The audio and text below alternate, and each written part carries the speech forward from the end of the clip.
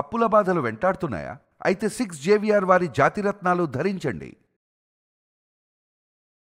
నమస్తే నేను మీ Gopi. Welcome back to our channel. ఈరోజు మనతో వచ్చరికి పొలిటికల్ అనలిస్ట్ కె రవీంద్రబాబు గారు ఉన్నారు. ఆయనతో మాట్లాడదాం. సార్ నమస్తే సార్. నమస్తే గోపి. సార్ చూసుకోవచ్చు యాంకర్ శ్యామల ఈ పేరైతే ఈ టూ త్రీ డేస్ నుంచి బాగా వైరల్ అవుతుంది. ప్రెస్ మీట్ పెట్టేది హైదరాబాద్ ప్రెస్ మీట్ పెట్టొచ్చు. కానీ తాడేపల్లి క్యాంప్ ఆఫీస్కి వెళ్ళి ప్రెస్ మీట్ పెట్టింది. నా మీద చాలా ట్రోల్స్ జరుగుతున్నాయి. నా నెంబర్ బాగా సోషల్ మీడియా గ్రూప్స్లో పెట్టి నన్ను వేధిస్తున్నారు.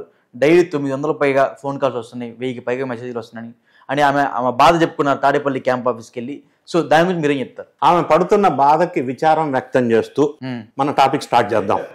ఓకే. ఫస్ట్ పాయింట్ మీరు చెప్పిన పదంలోనే యాంకర్ శ్యామల అన్నారు. ఆమె వృత్తి యాంకర్. అవును. రాజకీయాలకు ఆమెకి ఏం సంబంధం? ఏం సంబంధం? మరి వైఎస్ఆర్ కాంగ్రెస్ పార్టీ వాళ్ళు ఏం పదవి ఇచ్చారు ఆమెకి? అధికార ప్రతినిధి. ఎట్లా? ఏ విధంగా?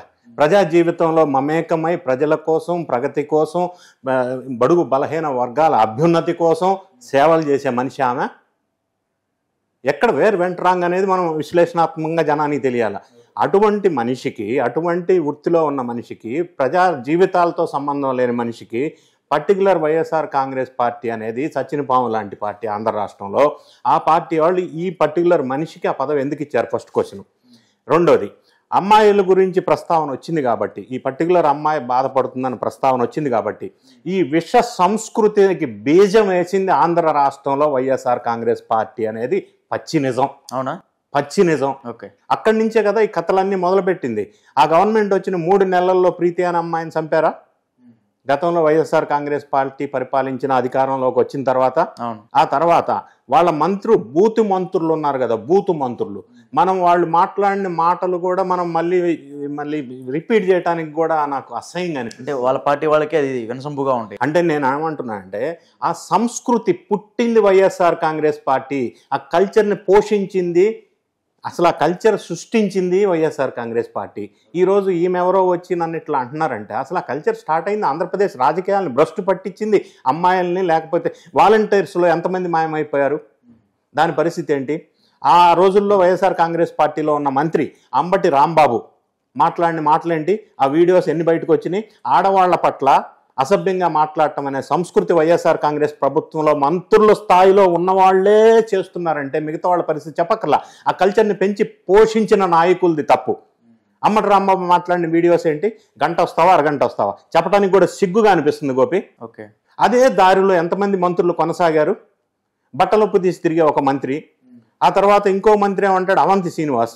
ఆయన ఆయన భాగవతాలన్నీ వీడియోలోకి వచ్చినాయి. వైజాగ్లో ఇంకొక కొత్త ఎమ్మెల్సీ ఒక అతను. ఆయన భాగవతాలు అయితే టీవీ సీరియల్ వచ్చినట్టు వచ్చినాయి. విజయనగరం. టీవీ సీరియల్స్ వచ్చినట్టు వచ్చినాయి. సో ఇవన్నీ అసలు ఆ సంస్కృతిని పోషించింది పెంచింది ఎంకరేజ్ చేసింది ఎంటర్టైన్ చేసింది వైఎస్ఆర్ కాంగ్రెస్ పార్టీ. అటువంటి పార్టీలో గురించి ఈమె ఈమెకు అధికార ప్రతినిధి ఇవ్వటం ఏంటి? ఈమె వచ్చి రాజకీయాల గురించి మాట్లాడటం ఏంటి? ఆమెను ఎవరో హింసించటం ఏంది? ఒకవేళ ఆమెను ఎవరన్నా బాధ పెట్టుంటే అది ఆ పర్టికులర్ వైఎస్ఆర్ కాంగ్రెస్ పార్టీ వాళ్ళే అందులో సమర్థులు. దాన్ని చేయటానికి అర్హులు వాళ్ళే. ఒకవేళ చేసుంటే అటువంటి తప్పు. అటువంటి తప్పు అని చెప్పడానికి కూడా వైఎస్ఆర్ కాంగ్రెస్ పార్టీలో ఎవడు లేదు చెప్పేటోడు కూడా. కాబట్టి ఈ రకమైన ఇబ్బందికరమైన పరిస్థితి ఆమె కలుగుతూ ఉండుండొచ్చు. దానికి ఎవరు బాధ్యులు చేస్తారు? అంటే బయట జనాలు ఏమన్నారంటే నిన్న విజయవాడలో ఫ్లడ్స్ వచ్చాయి. చాలా ఇబ్బందులు పడ్డారు జనం. కనీసం ఒక లక్ష రూపాయలు కూడా విజయవాడ ప్రజలకు అందించలేదు. అలాంటి ఆమెకి సమస్య వచ్చినప్పుడు ప్రజలు ఎందుకు స్పందించాలని ఇప్పుడు వాళ్ళు అంటున్నారు. దానికి మీరు మీరు విజయవాడ ఫ్లడ్స్లో ఆమె ప్రమేయం లేదని మీరు అంటున్నారు. నేనేమంటున్నా అసలు ప్రజల జీవితాలతో ఆమెకు సంబంధం లేదంటున్నా. Okay. First point. Second point ఆమె ఏ పార్టీలో అయితే ఉందో ఆ పార్టీ అధ్యక్షుడు ఎవరైతే ఉన్నారో పులివెందుల ఎమ్మెల్యే ఎవరైతే ఉన్నారో విజయవాడ ఫ్లడ్స్కి ఆయన ఆయన కంట్రిబ్యూషన్ విజయవాడ ఫ్లడ్ విక్టిమ్స్కి ఏంటి అనేది నా ప్రశ్న. ఈమె సంగతి మీరు మాట్లాడుతున్నారు. వాళ్ళ పార్టీ అధ్యక్షుడు కంట్రిబ్యూషన్ లేదు విజయవాడ ఫ్లడ్స్లో ఏమి ఇచ్చారు ఆయన? ఏం చేశారు? ఆయన కానీ ఆ పార్టీ అనుచరులు కానీ ఎప్పుడు వచ్చినా ఒకసారి రావటం. ఆయన విజిటింగ్ ప్రొఫెసర్ తాడే తాడేపల్లి హెడ్ క్వార్టర్స్ కాదు ఆయన. Bengaluru head quarters. అది ప్యాలెస్లో ఎనభై ఐదు బెడ్రూమ్స్ ఉంటాయంట. ఇక్కడ ఎవడైతే క్రిమినల్ ఉంటాడో ఆ పార్టీకి సంబంధించిన వాడు అక్కడికి వెళ్ళి తల దాచుకుంటాడు. ఈయన అప్పుడప్పుడు ఫ్లడ్స్ వస్తే వచ్చి బురద రాజకీయం చేయటం ఒక్కొక్క స్టేట్మెంట్ ఇవ్వటం. ఆ పడవ బోట్లు సంఘటనలో దోషులు ఎవరు? ఆ పార్టీకి సంబంధించిన వాళ్ళు కాదా? విజయవాడని విధ్వంసం చేయడానికి పూనుకున్నారా? ఇటువంటి అరాచక కార్యక్రమాలకి ఆలోచనలకి పుట్టినిల్లు వైఎస్ఆర్ కాంగ్రెస్ పార్టీ. అంతేగాని ఆయన ఏం చేశాడని ఏం చేయడానికి చేసింది ఏం లేదు. సర్వనాశనం చేశారు ఆంధ్రప్రదేశ్ రాష్ట్రాన్ని. వైఎస్ఆర్ కాంగ్రెస్ సంబంధించిన గతంలో పరిపాలించిన మంత్రివర్యులు అన్ని బూత్ మంత్రులే కదండి. అసెంబ్లీలో మాట్లాడిన మాట మనిషి మాట్లాడే మాట్లాది నారా చంద్రబాబు నాయుడు గారి వైఫ్ని అసెంబ్లీలో అవమానించిన తీరు యావత్ భారతదేశం విన్నారు కదా సిగ్గుతో తలవంచుకరండి ఆడవాళ్ళ మీద అసెంబ్లీలో మాట్లాడే తీరు అదే. నేను ఎందుకు పాయింట్కి వస్తున్నా అంటే ఈ పర్టికులర్ శ్యామల అని ఆడ మనిషి మమ్మల్ని ఇట్లా హింసిస్తున్నారంటుంది కదా. అదాన్ని పోషించిందే వైఎస్ఆర్ కాంగ్రెస్ పార్టీ అనేది నా బేస్ పాయింట్. అసెంబ్లీలో ఆ విధంగా మాట్లాడటం ఏ విధంగా కరెక్ట్? భువనేశ్వర్ గారిని. సో అన్ని లక్షణాలన్నీ పుట్టింది అక్కడే. దానికి కారణం అంతా వైఎస్ఆర్ కాంగ్రెస్ పార్టీయే బీజం అక్కడే ఏర్పడిందంట బీజం అక్కడే పెంచింది అక్కడే పోషించింది అక్కడే. మహా వృక్షమైంది. చెడు కల్చర్కి వృక్షంగా పెంచింది వైఎస్ఆర్ కాంగ్రెస్ పార్టీ కదా. మీరు ఒకసారి చూడండి గడిచిన వాళ్ళ పరిపాలన ఐదు సంవత్సరాలు జరిగిన దురాఘటనలు ఎన్ని ఉన్నాయో సభ్య సమాజం తలదించుకునే విధంగా సంఘటనలు అన్ని జరిగినాయి కదా లేడీస్ మీద కూడా. నేను మాట్లాడేది ఓన్లీ లేడీసే జనరల్ మాట్లాడితే ఒక గంట పడుతుంది. మళ్ళీ అ- అటు జోలు వెళ్ళట్లా. మీరు శ్యామల గురించి ప్రస్తావించారు కాబట్టి. సో ఆమెకి జరిగిన ఇబ్బందిని పక్కన మనం ఖండిస్తూనే దానికి మూల కారణం వైఎస్ఆర్ కాంగ్రెస్ పార్టీ పుట్టినిల్లు అనేది నా అభిప్రాయం. అంటే ఇంకోటి సార్ కొన్ని రోజుల నుంచి రోజా గారు కనబడట్లేదు. ఆ ప్లేస్ని రీప్లేస్ చేయడానికి మళ్ళీ ఇప్పుడు యాంకర్ శ్యామల వచ్చింది అన్నట్టుగా వాళ్ళ పార్టీ వాళ్ళు వ్యతిరేక పార్టీ వాళ్ళు కూడా మంచిగా మనసులో అనుకుంటున్నారంటే దానికి ఏమంటారు? రోజా గారు ఒక మహిళ అయి ఉండి రోజా గారు భాష ఏ విధంగా ఉంది మనం ఒకసారి ఆలోచన చేసుకోవాలి?